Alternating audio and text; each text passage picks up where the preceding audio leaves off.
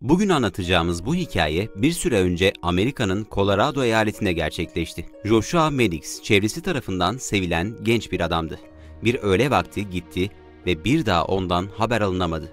Ailesi onu her tarafta aradı ve buldukları şey sosyal medyada ve YouTube'da yayıldı. Olay 2008'de gerçekleşti. Joshua'nın ailesi oğullarının nerede olduğunu öğrenebilmek için şehirdeki her yere baktı ama ondan bir iz bulamadı. Yakınları umutlarını kaybetmek üzereydiler ve aldıkları bir telefon tüm umutlarını kaybetmelerine neden oldu. Aile 2006'da Joshua'nın kendi canına kıyan abisi Zakari'nin kaybının acısını zar zor atlatabilmişti. Bu olay herkesi üzmüştü ama zamanla durumu kabullendiler. 2008'de Joshua kaybolunca Zakari'nin intiharını hatırladılar. Joshua'yı da kaybederlerse aile bu acıyı atlatamayabilirdi.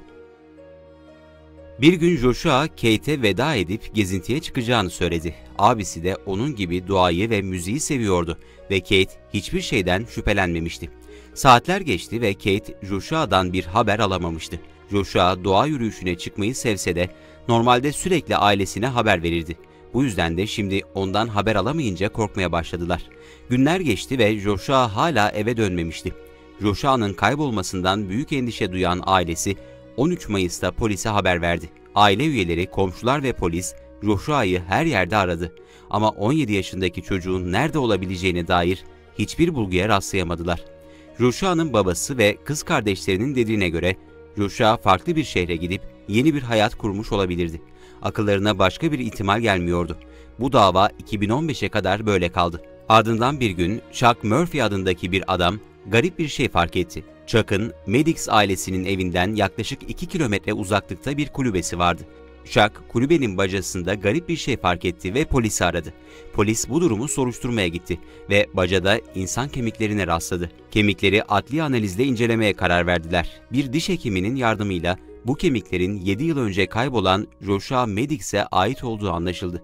Bu davadan sorumlu komiser detaylı bir inceleme yürüttü ve kaza sonucu ölüm olduğuna dair herhangi bir kurşun, travma ya da bıçak izine rastlanamadı. Joshua'nın cesedinin bulunması akıllarda daha fazla soru işareti uyandırmıştı.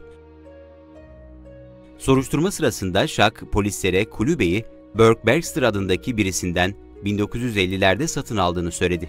Chuck'ın söylediklerine göre 2005'te abisi orada yaşamayı bıraktığından beri kulübede yaklaşık 10 yıldır kimse yaşamıyormuş ve kulübe farelerle rakunlara teslim edilmiş.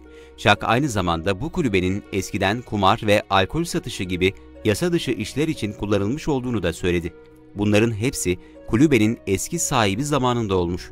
Polis her şeyin oldukça gizemli olduğunu ve parçaların birbirine uymadığını söyledi. Özellikle de Chuck'ın ifadesi işleri daha da karıştırmıştı.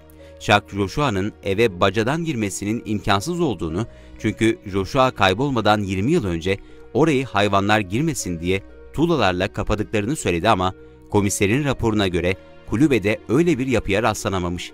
Gazetelerde yer alan haberlerde Joshua'nın aslında cinayete kurban gitmiş olabileceği ihtimali dillendirildi. Ama Chuck böyle bir şeyin olamayacağını, çünkü cesedin öyle durabilmesi için bunu en az iki kişinin yapmış olması gerektiğini ve bunun da imkansız olduğunu söyledi. Polis de kısa süre sonra tüm cinayet ihtimallerini eledi. Çünkü buna dair hiçbir iz yoktu. Polisin elindeki tek şüpheli Andrew Niemann'dı. Kendisi Joshua'nın kaybolmadan önce konuştuğu son kişiydi. Andrew'in sicili her ne kadar kabarık olsa da polis onu Joshua'nın kaybolmasıyla ilişkilendirebilecek bir kanıta rastlayamadı. En sonunda polis Joshua'nın bacadan düştüğüne ve günler sonra hipotermi ve susuzluktan öldüğüne kanaat getirdi. Bu teoride kanıtlanamadı ama aile istediği bilgiye ulaşmıştı. Artık Joshua'nın nerede olduğunu biliyorlardı ve onun için düzgün bir cenaze düzenleyebildiler.